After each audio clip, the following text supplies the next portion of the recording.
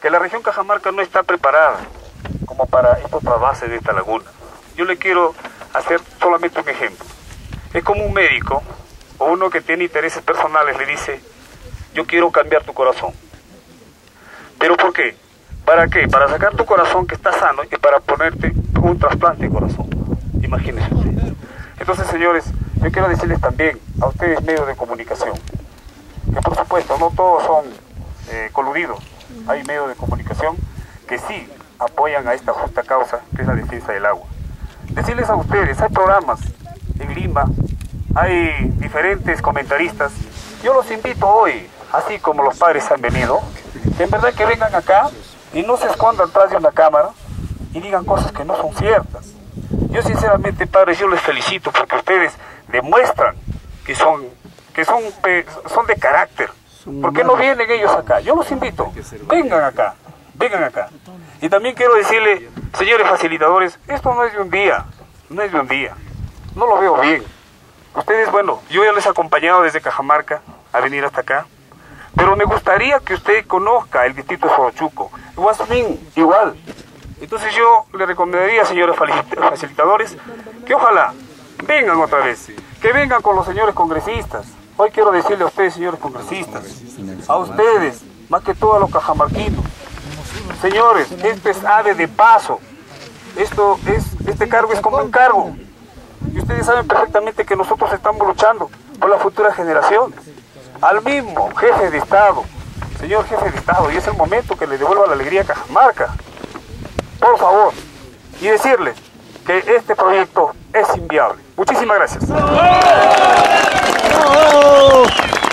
Hemos dado un paso importante para que conozca el Perú y el mundo de que Bambamarca, Selendín, Guasmín, Cajamarca, no es una población agresiva, es una población pacífica que estamos reclamando con justo derecho nuestras lagunas, nuestros ríos, que como campesinos lo necesitamos. Que bien, el gobierno se dice que nuestro presidente regional está haciendo campaña, que los alcaldes están haciendo campaña que los frentes de defensa están presionando a la, a la población para que salgan a gritar a contra de este proyecto. Señores, queremos decirle que Bambamarca, el 99% prácticamente no vamos a permitir ni un paso más a la minería, ni que se destruya nuestra laguna.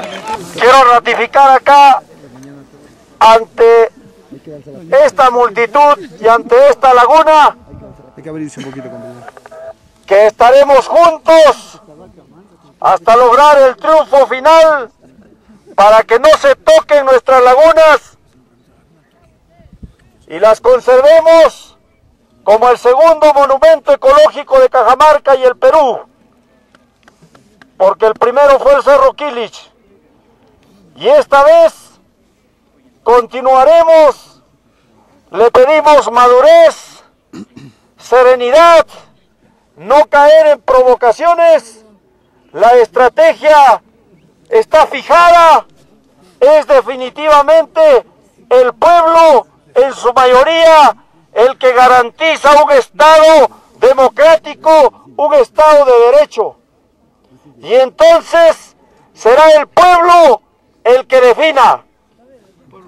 Eso es importante porque cuando se nos pretende imponer este proyecto, hay que aclarar que el Estado no es más que la representación del soberano que es el pueblo. Y cuando el soberano, el pueblo de Cajamarca, ya está fijando una posición diferente al Estado, el Estado está perdiendo legitimidad en Cajamarca.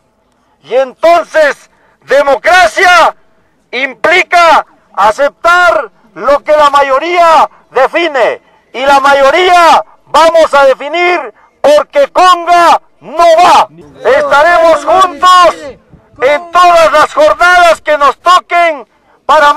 importante, pero la historia sabrá reconocer que ahora tiene autoridades elegidas que se ponen al lado del pueblo. Y en las próximas elecciones tendremos más alcaldes, más presidentes regionales que defiendan a su pueblo. Y allí hay que quedar claro que quienes instalaron este modelo económico extractivista, minero, y quienes han venido destruyendo a la agricultura y la ganadería han sido el gobierno del Fujimorismo, el gobierno del aprismo, que ahora están unidos con el presidente Ollanta.